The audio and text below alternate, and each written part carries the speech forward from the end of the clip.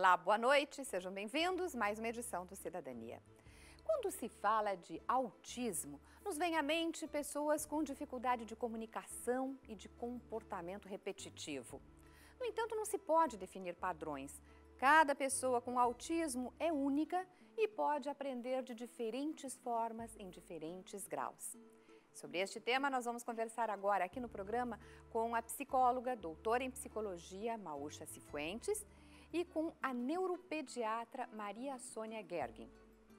Você que está nos assistindo, participe através da nossa página facebook.com barra cidadania TVE. Vai lá, curta e participe bastante. Boa noite, meninas, bem-vindas também. Uh, doutora Maria Sônia. Sim. Esse, esse longo espectro, o que, que é o autismo e do que, que trata esse, esse espectro que hoje uh, se define mais, que as pessoas estão definindo, né, que os especialistas definem, uh, colocam o autismo dentro desse espectro? Muito obrigada. Antes de mais nada, é um prazer estar aqui com vocês. Uh, transtorno do espectro autista é um transtorno neurodesenvolvimental, ou seja, aquela ideia antiga de que estaria na relação mãe-bebê há muito se foi. Uh, na verdade, uh, pode até contribuir para algumas dificuldades que se estabeleçam quando não existe uma relação mãe-bebê adequada, mas essa não é a causa. A causa é uma questão bem ampla no desenvolvimento e onde questões como inibições de reflexos primitivos, de entradas sensoriais não moduladas, podem deixar um nível diferente na apresentação. O diagnóstico é feito até que idade, mais ou menos? O diagnóstico cada vez está sendo feito mais precocemente, não Felizmente, é, né? Felizmente, porque isso modifica totalmente o outcome, a saída, né? A forma como a criança reage. É, a gente não tem mais aquela criança que fica se embalando, sim. não falando e absolutamente ensimesmada. A gente tem, sim, crianças que daí no espectro podem não ser verbais, mas elas utilizam outras formas e a gente consegue ver que tipo de dicas elas nos dão para a gente poder entrar no mundo delas e trazer elas para a gente. É, até crianças ou adultos que a gente uhum. sequer suspeita, uhum. não é? A gente tem na literatura aí pessoas como Bill Gates, a gente tem pessoas como muitos médicos, muitos advogados. Dizem que o Messi tem o.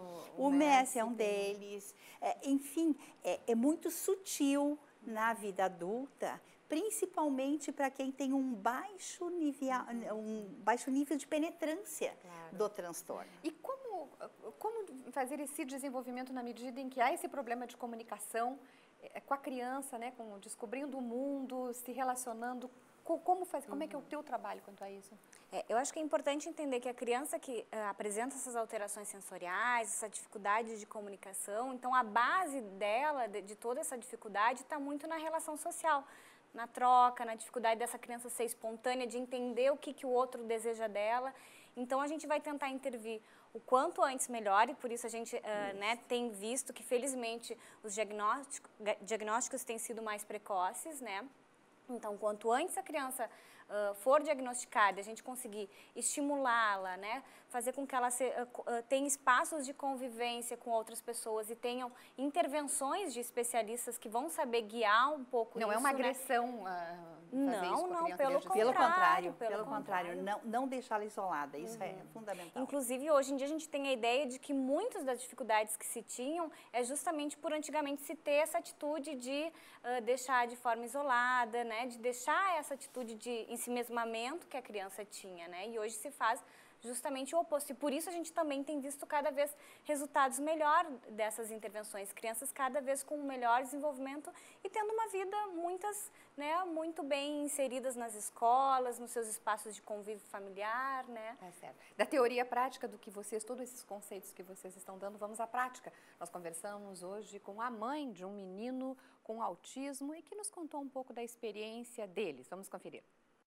A Silvia Canabarro é mãe do Otávio, que tem 11 anos, é autista, e ela vai nos contar um pouco sobre a sua experiência com o Otávio.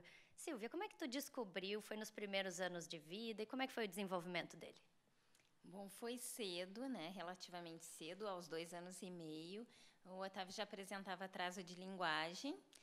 Ele não falava nada e por algumas estereotipias motoras, né, o bater de mãos e algumas atitudes atípicas para para uma criança de dois anos e meio, né? Ele não apontava para nos mostrar nada e os brinquedos também ele manuseava de maneira uh, diferente das outras crianças, virava os carrinhos para girar as rodinhas, né? E não se interessava então pelos brinquedos como, como as outras crianças da faixa etária dele se interessam. Então, esses primeiros sinais deram um indício de que algo não estava correndo da maneira normal. Na escola, como é que foi o desenvolvimento dele? Que tipo de adaptações os professores realizam que beneficiam o aprendizado dele?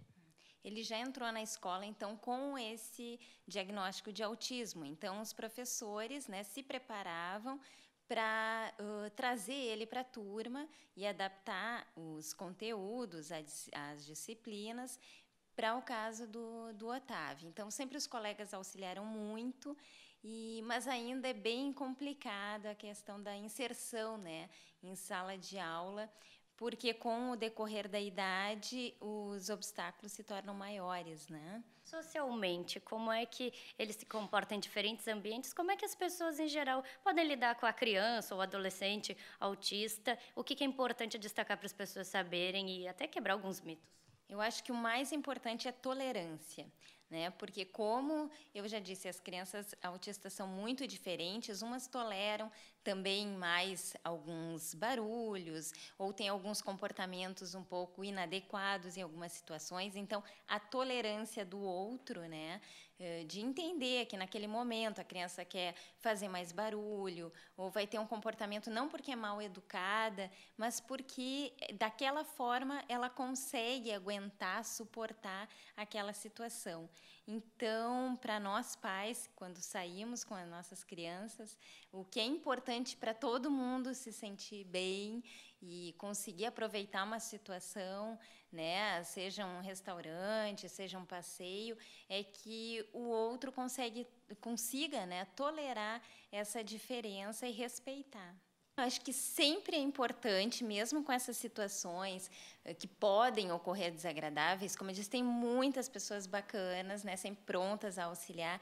E assim, o, a criança autista tem que conviver. Então tem que sair, tem que ser proporcionado passeios, viagens, convívio mesmo em praças. E uh, planejar a rotina, né? Então, se a criança gosta de ir em determinado restaurante, que vá mais cedo, que procure uma mesa que agrade a criança, que seja adaptado. Não vai ser a mesma rotina de todas as outras pessoas que não têm tanta estrutura no dia a dia. Ah, o dia a dia tem que ser mais estruturado, mas tem que ser proporcionado as mais diversas atividades para essa criança se desenvolver e ter contato com diversas realidades e pessoas, né? Isso é bem importante. Tá certo, Silvia. Muito obrigada pela tua participação aqui no Cidadania. Obrigada. Tá aí o depoimento, então, de uma mãe, né, de uma criança com autismo. Mas como desenvolver essa tolerância, especialmente entre o grupo de crianças? Que criança não é muito tolerante, não. Pelo contrário. É, é o adulto As, que não... Isso, o adulto Eles que tem mais resistência. Melhor. A criança, principalmente quando a inserção é feita... Uh, com a criança mais jovem, né? Na educação infantil, eh, normalmente é a primeira intervenção que a gente indica, né? Coloca a criança na educação infantil e a gente pensa nas outras terapias, né? Uh, mas a criança aceita, a criança começa a perceber que é diferente, que tem uma outra maneira e essa aceitação vai ser bem importante. Agora, como aumentar essa tolerância? É aos poucos, né? A Silvia, a mãe, falou ali da questão da importância de uma rotina, de uma organização para a criança ficar mais tranquila.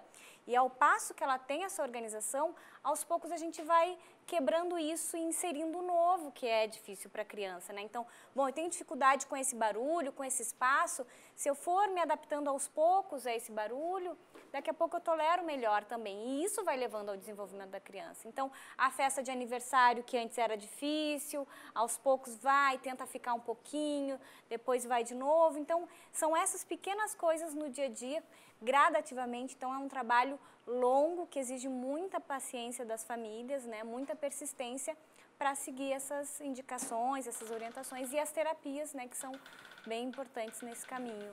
Doutora Maria Sônia, pois é, e, e, e, e, quanto assim ao diagnóstico e dos, do, os vários tipos de, de, autismo, mas assim, uma das várias deficiências nos sentidos, né? Porque umas, o, umas têm a, a, questão da visão que afeta mais, outra, não sei, eu gostaria que a senhora explicasse um Imagina pouco. assim, que, uh, imagina um alicerce de uma casa. A entrada cerebral é sensorial. O processamento é amarrado pelas emoções. E a saída é uma ação motora. Essa ação motora pode ser verbal, pode ser gestual, pode ser uh, de deambulação.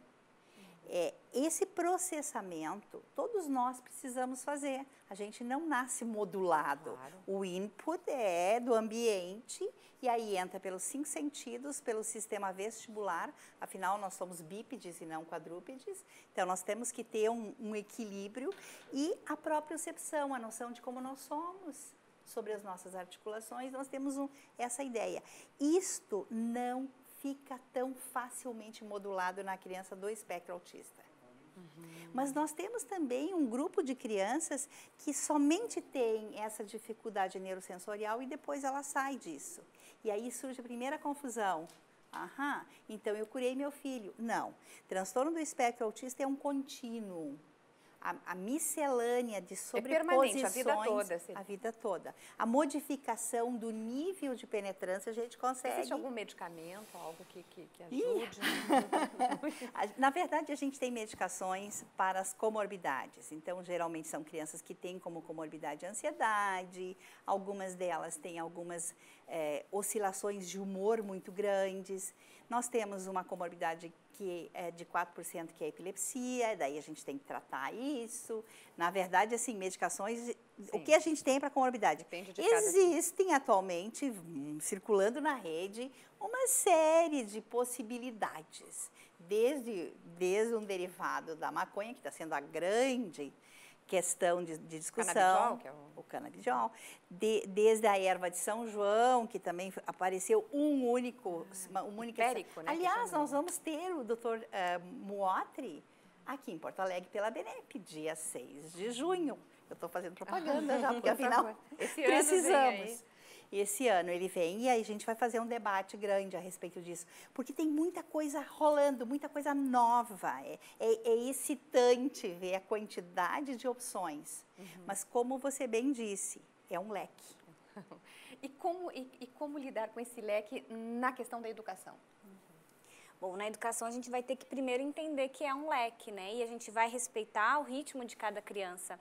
A gente costuma dizer que o parâmetro da criança vai ser ela mesma. Então, assim, a escola, ela vai dar oportunidades da criança se desenvolver e dar o próximo passo. Né? Qual é o, o limite de cada um, a gente não sabe né, a, a, a, priori. Então, assim, é sempre o próximo passo. Que adaptação vai ser necessária? Tem crianças que uh, têm uma facilidade que entram na escola lendo, né, escrevendo, enquanto outras não conseguem passar por esse caminho, são crianças que não falam. Então, como é que a gente vai adaptar isso? Usar mais imagens, utilizar outros métodos de ensino. Então, tanto na questão escolar como na questão da intervenção, o plano é individual, né? Conhecendo cada criança, existem as, essas características em comum, que são as dificuldades né, uh, da comunicação, da interação social, a presença dos comportamentos repetitivos, que em conjunto vão levar ao diagnóstico do autismo. Mas como isso vai se apresentar em cada criança, que intensidade isso vai ter, isso é individual. Então o plano também tem que ser individual. Tá certo. Agora a gente abre espaço porque vamos, vamos acompanhar, vamos saber os destaques do Jornal da TVE, segunda edição de hoje. Olegário, Muitas surpresas para os nossos telespectadores. Boa noite, Boa noite. Muita surpresa, surpresa nos bolsos e as bons motoristas não perderem tempo. A partir de domingo, a gasolina fica mais cara, um aumento de 22 centavos por litro. Haverá também um reajuste de 15 centavos no preço do diesel. A reportagem conferiu a movimentação nos postos eh, de gasolina e que muita gente vai ser pega de surpresa. Voltando da praia, vai abastecer o carro e vai pagar mais caro eh, pela eh, gasolina. E também a gente acompanha a movimentação e vai acompanhar ao longo de todo o jornal, movimentação pela BR-290, a Freeway. A gente vê imagens agora ao vivo das câmeras da Concepa acompanhando a saída da capital estimativa da concessionária que administra a BR-290 é de que 114 mil veículos sigam em direção ao litoral para aproveitar este feriadão. Só hoje são esperados 60 mil veículos. E um outro destaque do jornal logo mais às sete e meia da noite é também um protesto inusitado dos, dos servidores do INSS aqui da capital que utilizaram roupas de banho para protestar pelas más condições eh, de trabalho. Esses destaques e outras notícias logo mais às sete e meia da noite. É daqui a pouquinho, é só ficar ligado, né, Lugar? Daqui a pouquinho a gente já vai acompanhar as notícias do dia. Agora, a gente continua aqui no Cidadania, vamos fazer um breve intervalo e já voltamos.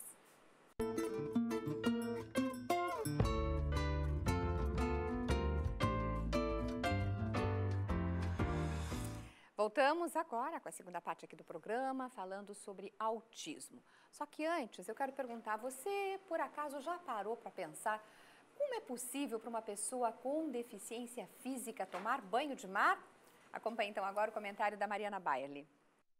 A minha dica de hoje é para as pessoas com deficiência que querem tomar um banho de mar. Ali na beira da praia de Capão da Canoa, a FADERS, em parceria com a Prefeitura, está realizando o projeto Praia Acessível 2015. Esse projeto está sendo retomado nesse final de semana e oferece aí a oportunidade de banho de mar para as pessoas cadeirantes ou com mobilidade reduzida. Lá você vai encontrar as cadeiras de rodas anfíbias, aquelas cadeiras que são próprias para entrar na água e tomar banho. Ali, os profissionais da FADERS, a equipe de saúde, fisioterapeutas, vão estar dando toda a assistência para as pessoas tomarem banho de mar, aproveitar o verão, um pouco de lazer, entretenimento em companhia ali dos familiares, amigos e das pessoas que estão curtindo a beira da praia. Para fazer o seu cadastro é muito simples. Você chega na beira beira-mar de Capão e se dirige ao quiosque da Unisc, a Universidade de Santa Cruz do Sul, que está em parceria com a FADERS realizando esse projeto. Ele acontece todos os finais de semana desse mês de fevereiro até o dia 1 de março,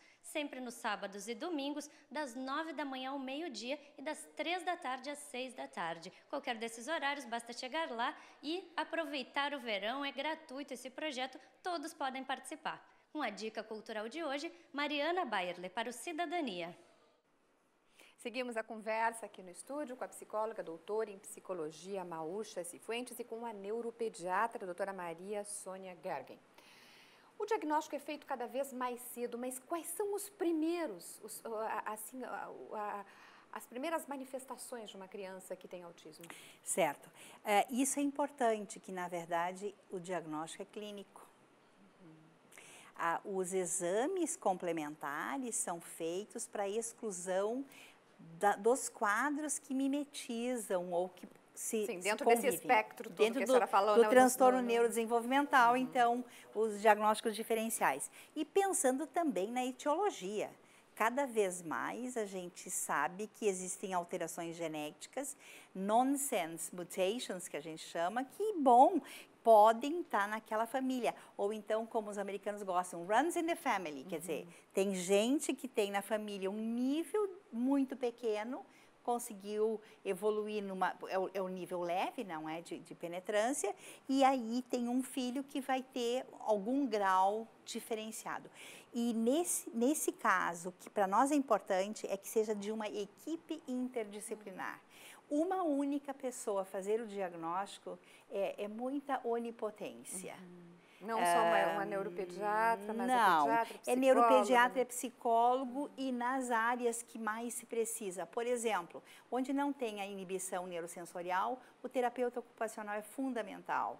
A linguagem, uhum. comunicação, que é uma área comprometida, o fonoaudiólogo é essencial. E aí tem outras técnicas que a gente pode ajudar, como a musicoterapia, uh, como, uh, bom, eu faço parte de um grupo recente que estava tá, com um trabalho iniciando de, uh, um trabalho de desenvolvimento, que a gente capacita os pais e não exclui os, os, os profissionais, mas assim, capacitar os pais a interagir com as crianças no nível certo. Claro. Não adianta a criança estar no nível, digamos, que ele não tem nenhuma atenção compartilhada e querer fazer um brincar faz de conta. Claro. E como trabalhar com os colegas das crianças, assim, para que haja essa interação? Uhum. Há algum trabalho específico também, por exemplo, em sala de aula? Há algum trabalho específico? É, o trabalho que se faz, principalmente com o papel do próprio professor, né, e o auxílio dos especialistas que colaboram, é de mediar esse, essa relação da criança com seu colega. Então, às vezes, a gente precisa traduzir para o colega qual era a intenção do colega, né? Qual era a intenção da criança com autismo? Que não era uh, pegar simplesmente o brinquedo, às vezes era uma aproximação, né? Então, às vezes, é, é, é, essa mediação, esse meio do campo, né? Como a gente faz, às vezes, com as crianças em casa, entre os irmãos. Então, não, faz assim, o que ele quis te dizer foi isso, quem sabe tu vai lá e oferece para ele. Então, uh, tem coisas que, claro, né, o conhecimento vai nos levar, mas as ações são simples às vezes, né? Uhum. É possibilitar isso. Mas só queria só enfatizar um pouquinho mais a questão do diagnóstico, que como a, a doutora Maria Sônia falou, não é uh, laboratorial, né? É artesanal. Uhum. Então, assim, é um trabalho procurando esses profissionais. O que, que se faz? É uma boa entrevista com os pais para entender... começa com uma observação dos pais. Dos o que, pais. que os pais trazem para você? Pais. Qual é a e eu acho que muito importante que é sentir essa pulguinha que a mãe uhum. percebe, né? Hoje em dia, o que a gente tem tido como uh, principal busca ainda é o atraso de linguagem. Então, assim, meu filho tem dois anos e não fala, né? Eu vejo que o coleguinha já está falando algumas coisas, apontando, o meu ainda não. Problemas de sono, que são uh, questões sono que é aparecem em com, conjunto, né? Eles dormem, não dormem quase. Criança que dorme pouco pouco então são, são fatos concretos que as, muitas vezes motivam os pais. E a questão do olhar que falam? O olhar, uh, ele tem essa questão, mas não é, uh, é importante a gente dizer que não é um sintoma unicamente que vai dizer se a criança tem ou não autismo. Algumas crianças vão ter essa qualidade diferente, sim, do olhar, de não... Uh, não usar o olhar como um meio de comunicação, de não sustentar o olhar enquanto conversa. Mas isso quando uma criança é muito pequena, às vezes é difícil de perceber, às né? adulto, né? Tem muitos adultos uhum. que não sustentam o olhar E anterior à linguagem e, a, a, o, o precursor, né? A primeira questão que a gente pode observar, e hoje a gente tem feito já diagnósticos, pelo menos assim, né, uh, hipóteses diagnósticas para já fazer um acompanhamento precoce, mesmo sem fechar, né, sem bater o martelo naquele diagnóstico, com crianças com um ano, um ano e alguns meses. Então, assim, que é essa habilidade que a doutora falou da atenção compartilhada. Então, uma criança que não te chama, que não busca a tua atenção para te mostrar as coisas do entorno dela, o que, que chama atenção, o brinquedo, e não só para solicitar. Porque é diferente uma criança que diz que quer a água, que quer a ajuda do pai para abrir uma porta, e uma criança que simplesmente mostra algo que lhe interessa. Isso é repartir, né? isso é compartilhar, isso é social.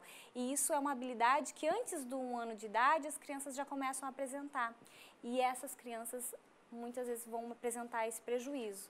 Então, a forma que a criança vai brincar, a Silvia falou, né? Acho que falou bem como é que ela observou no dia a dia. Então, qual é o tipo de brinquedo? É um brinquedo às vezes diferente, fica só num brinquedo. É, diferença da, é diferente da preferência que as crianças têm, porque tem uma intensidade maior, né? É, esse diagnóstico precoce, ele, ele vai poder permitir um adulto mais, mais feliz, mais trabalhar? E, esse, e essa questão da comunicação eh, pode interferir ou não ela modifica porque você vai ajudar essa criança a inibir aquela aquela não modulação do aporte sensorial. Você está ajudando ela a diversificar, a poder continuar e se engajar numa atividade, para poder uhum. uh, crescer junto e não apenas ficar no mundo em que o aporte sensorial fica numa sobrecarga muito grande para a criança. Uhum. Doutora Maúcha, assim, 30 segundos, bem, bem rápido, assim, adu uh, existem adultos, né, uhum. que, são, que, que, são considerados, assim, verdadeiros gênios, né, uhum. e que uhum. foram diagnosticados autistas. Uhum. Como explicar, né? É, na verdade, nem isso... todo gênio é autista, nem Não, autista isso está dentro até mais de um estereótipo que a gente tem, né, e que aos poucos a gente tem quebrado esses mitos, que é a questão dessa inteligência, dessa genialidade escondida. O que a gente observa, infelizmente, é o contrário, né? A maioria das crianças com autismo apresentam também deficiência intelectual. Algumas crianças que não têm, que têm a inteligência preservada, como elas têm como características uh, o interesse mais restrito, muitas vezes elas ficam muito boas naquilo que elas fazem, porque elas uh, têm a atenção focada naquilo, né? Então elas têm essas ilhas de habilidade. Não necessariamente são pessoas geniais, porque elas vão ter às vezes dificuldades em outras questões simples, mas elas desenvolvem inteligência para o que interessa mais elas, né? E a gente pode tornar isso adaptativo e bom para a vida delas. Doutora Maúcha, doutora Maria Sônia, muito obrigada pela vinda de vocês hoje aqui. Nós agradecemos a sua audiência. Lembramos que o nosso endereço lá no facebook.com.br Cidadania TV, aguardamos as suas, a sua contribuição, a sua sugestão de assuntos. Uma boa noite, um bom final de semana.